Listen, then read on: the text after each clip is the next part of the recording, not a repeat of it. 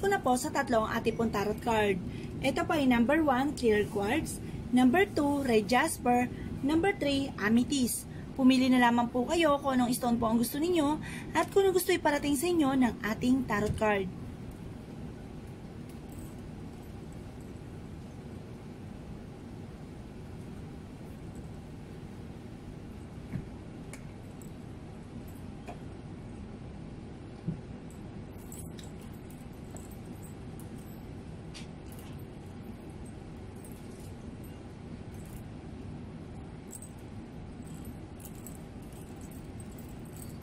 Kung kayo po ay nakapili na, unahin na po natin ang number 1, clear quartz.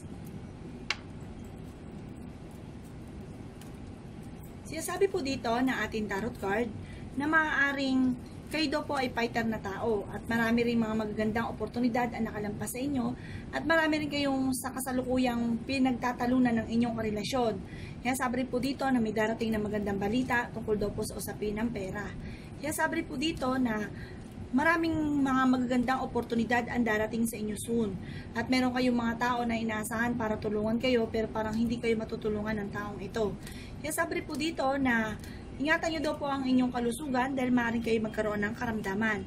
Sabi po dito, naiinip ka na sa sitwasyon na kung anong pinagdadaanan mo sa kasalukuyan. Sabi po dito, kayo daw po ay matalinong tao. At sa mga, maaaring parang meron birthday yan na magaganap or isang okasyon sa inyong tahanan. Sabi po dito ay pagdiriwang ng isang pamilya ang magaganap.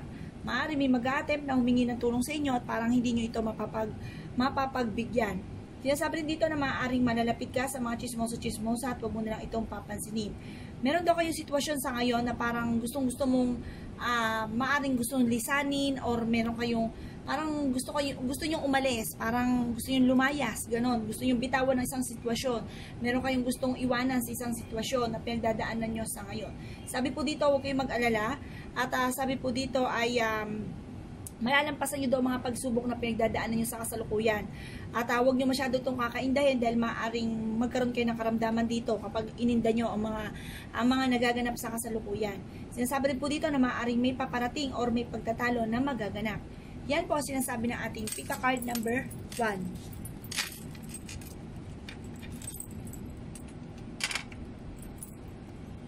Number 2. Sinasabi po dito na ating tarot card na kayo daw po ay may magandang kapalaran na nagiintay. Sinasabi rin po dito na maaaring may darating na pagtatalo na magaganap. Sinasabi rin po dito na maaaring uh, may darating sa inyong balita na ikaiinit ng inyo daw pong ulo.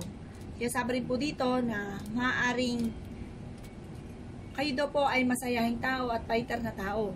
Kaya sabi rin po dito na maaaring kayo daw po ay malapit sa tukso at maging aware daw po kayo dahil parang may uh, parang may mag-attempt na manloko daw po sa inyo. Pero may paparating sa inyo mangingibig na maaaring tunay ang pagmamahal nito.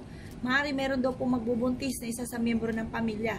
Kayo daw po ay masipag na tao parang meron kayong trabaho sa ngayon na parang hindi ka nakukontento sa trabaho mo sa ngayon. Parang marami pa daw po kayong ninanais. Kayo daw po ay masipag na tao. Sa ngayon, maaari may problema ka tungkol sa buhay pag-ibig at pera. Sabi po dito ay parang marami kayo iniisip sa ngayon na problema at parang tungkol po ito sa usapin ng pampinansyal, maaaring marami kayong bayarin. Pero kayo daw po ay may maganda na mga kapalaran naghihintay at may mga pagtatalo na naganap na maaayos. Yan po sinasabi ng ating Pika card number 2.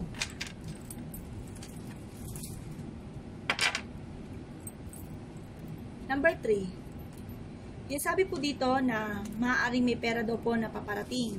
Yan sabi po dito na maaaring kayo daw po ay wais na tao. Yan sabi po dito na maaaring may isang okasyon na parang maimbitahan ka sa isang okasyon pero hindi ka makakadalo. Kayo daw po ay maaaring may bagong trabaho na papasukin or kung naghahanap ka ng trabaho sa ngayon, maaaring ikaw ay matanggap sa trabaho. Yayaman daw po kayo number 3. Maaari may bigla ang swerte na darating sa inyo tungkol sa usapin ng pera. Sinasabi po dito na kailangan nyo lang ng spiritual guide at huwag ka makakalimot tumawag sa mahal Panginoon.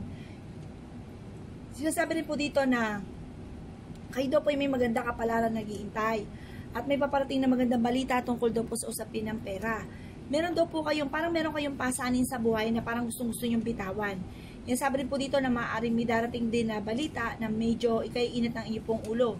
Maaaring may darating sa mga single na mangingibig at maaaring maging aware kayo dahil maaaring hindi tunay ang pagmamahal nito sa inyo. Maaaring ah, may dahilan siya kung bakit liligawan ka niya. Maaaring ito po ay ah, naninesting at maaaring kayo ay ah, maniwala at maaaring kayo ay maloko sa buhay pag-ibig. Sa mga dalaga po ito. Maging aware ka dahil maaaring may mag-a-attempt ng panluloko daw po sa inyo. May kasaganahan kayong paparating, may bigla ang pera na paparating na hindi nyo akalain. Maaaring magtataya ka at maaaring tumama ka ng malaking halagang pera. Pero syempre, huwag nyo itong kakaririn. Kung ukol ay bubukol. Yan po ang sinasabi ng ating Pika card for today. Salamat po sa panonood and don't forget to subscribe my channel. Salamat mga bossing. Ang aking po pagbabasa ng tarot card ay gabay lamang. Kung may mga nabanggit akong hindi kagandahan, maaaring ito po inyo pong iwasan. At yung mga magaganda ay welcome po natin. Salamat po!